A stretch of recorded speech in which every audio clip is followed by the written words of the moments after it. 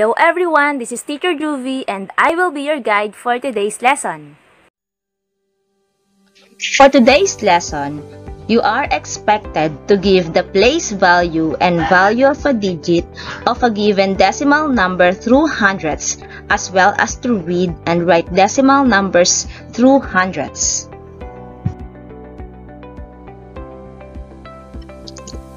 Look at the place value chart of a whole number with decimal number below and try to analyze the place value and value of the digit in the decimal number. Okay, so we have this place value chart. So, ones, tapos decimal point, tenths, and hundreds. So, yung whole number at yung decimal number ay pinaghihiwalay ng decimal point mag start ang place value ng decimal number dito sa tenths, hundreds, and so on. Then, kung naaalala nyo, yung place value ng whole number ay nag start sa ones, followed by tens, hundreds, and so on. Okay, so let's have an example. Meron tayong 1.23. Okay, so we're going to identify the place value of the digits dito sa ating mga place value chart. So, yung 1 is in the ones place and the value is 1. Okay, so naalala nyo, yung place value and value of a whole number, so yung uh, according dito sa ating place value chart, yung 1 is in the ones place at ang value ng 1 is still 1. Let's proceed on the value and the place value of the digit 2. So, as you can see, 2 is in the tens place. And the value of the digit 2 is 2 tenths. Kapag isusulat natin ang value ng decimal number, yung ones place natin na 1 ay magiging 0 na, then copy the decimal point, then copy the digit 2.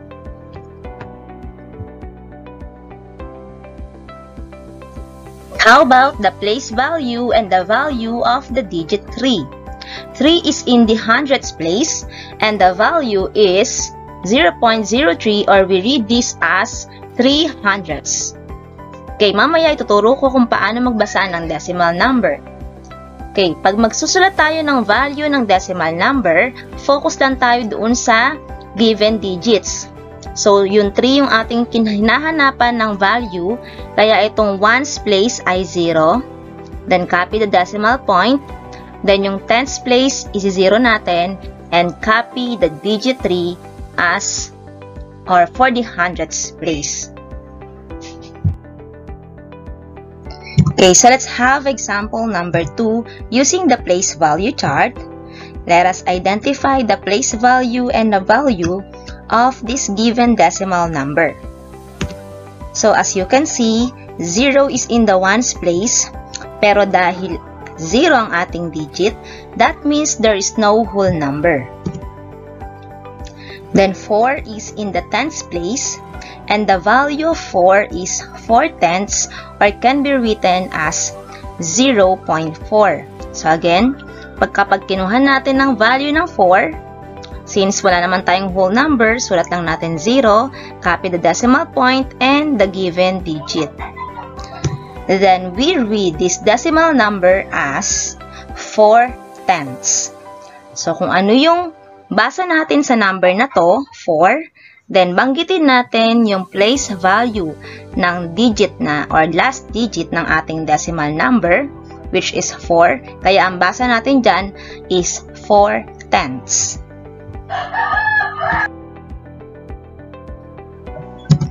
Okay, so how about example number 3? We have 2.0 and 7. So, isa-isahin muna natin ang mga place value and value of the given digits. So, 2 is in the ones place, kaya ang value ng 2 is still 2. And 0 is in the tens place, So, ibig sabihin yan, ang value ng 0 is 0. 7 is in the hundreds place. Therefore, ang kanyang value is 0.07. So, isiniro na natin yung ating whole number na 2. Okay, kung babasahin natin ang decimal number na to, read first the whole number, so 2, and we read the decimal point as end, 2 end, then basahin natin yung basa dito sa number na ito, 7, and basahin natin or banggitin natin yung last digit or yung place value ng last digit ng ating decimal number, which is hundreds. Again, so we read this number as 2 and 7 hundredths. So, important reminder to read and write decimal number. So, to read the decimal number, read the digits after the decimal point. So, read the place of the last digit. If there are digits starting from 1 and up in whole number part, read the decimal point as end and read the number starting from the highest whole number followed by the decimal numbers. Okay, so let's try to read this example. So, read this decimal number. Paano ba natin ito babasahin? So, we have 2. Then, basahin natin ang decimal point as end. So, 2 end. Then, read the number as kung paano natin siya binabasa. So, 75. 2 and 75, then babanggitin natin yung place value ng last digit.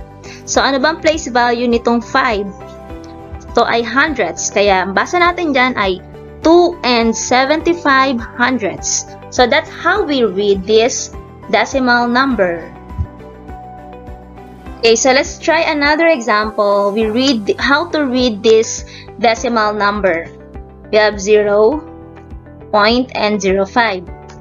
So take note that no need to read the zero and the decimal point when there is no whole number. So sa example na to, wala tayong whole number. So hindi natin babasahin itong zero at itong decimal point. Basahin lang natin itong decimal uh, number part which is 5. Then babanggitin natin yung last digit or yung, yung place value ng last digit niya. So, siya ay 100. So, we read this number as 5 hundredths. So, isa pang dapat nating tandaan na ang 75 hundredths na may 0 sa unahan at itong uh, 75 hundredths na walang 0 sa unahan ay pareho lang ang value. 0 is placed to any empty column between the decimal point and the digits. So, nasa sa inyo yan kung anong gusto nyong way ng pagsulat ng uh, decimal number na walang whole number part. Let's have another activity. Give the place value and value of the underlying digit. So we have this decimal number, 45 hundredths. So binabasa natin siya as 45 hundredths kasi wala siyang whole number sa unahan or wala siyang whole number part. So basahin lang natin siya kung paano siya kung paano babasahin yung number. Then don't forget to mention the place value of the last digit of that decimal number. Okay, so let's have the place value of the underlying digit na 5. And also the value. So, ang place value ng 5 is hundredths, while the value of 5 is uh, 0.05 or we read this as 5 hundredths. Okay, so another decimal is 3 and 6 hundredths. So the underlying digit is 0. So ano yung place value ng 0? So ang place value niya is tenths and the value of 0 is 0. So let's give the place value and value of the underlying digit in this decimal number 8 hundredths. So naka-underlying digit is 8, so ang kanyang place value is tenths. And the value of 8 is 8 tenths.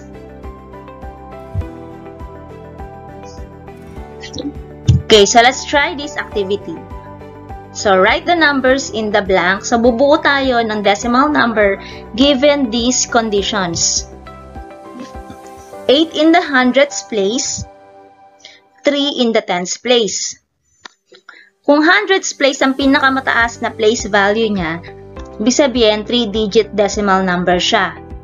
So, ilalagay natin yung 8 sa hundredths place. Ito yon. Ito yung hundredths place, nasa pang third.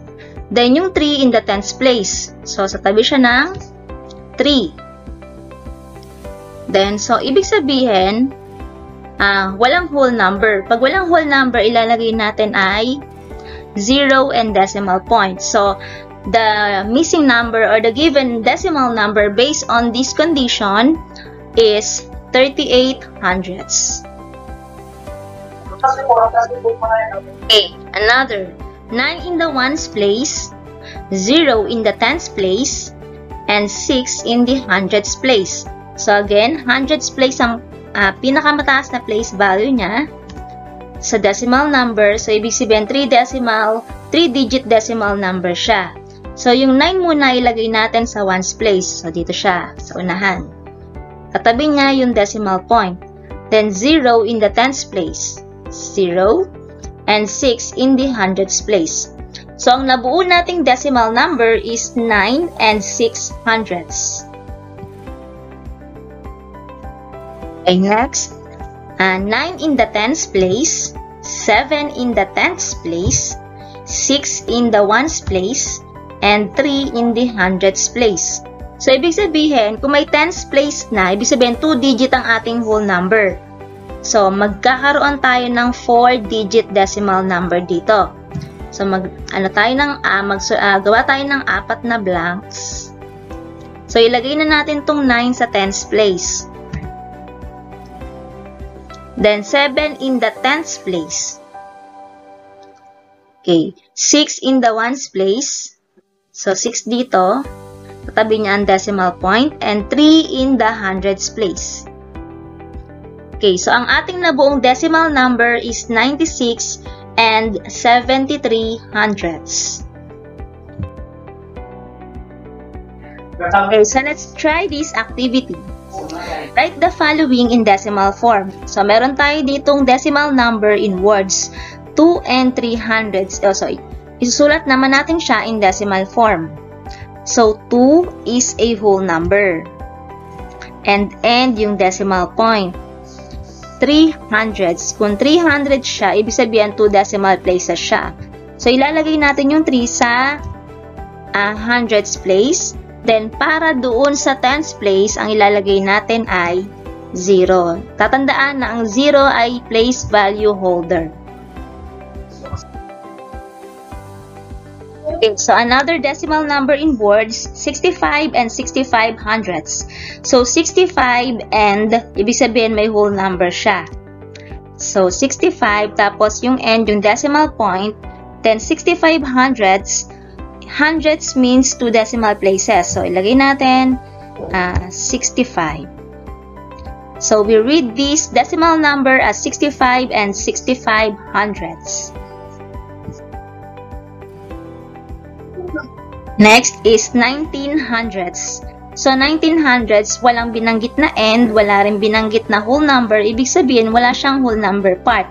Susulat nyo lang ang 19, then, sulat nyo yung 0 sa unahan, then decimal point para sa pagsulat ng 1900s in decimal form.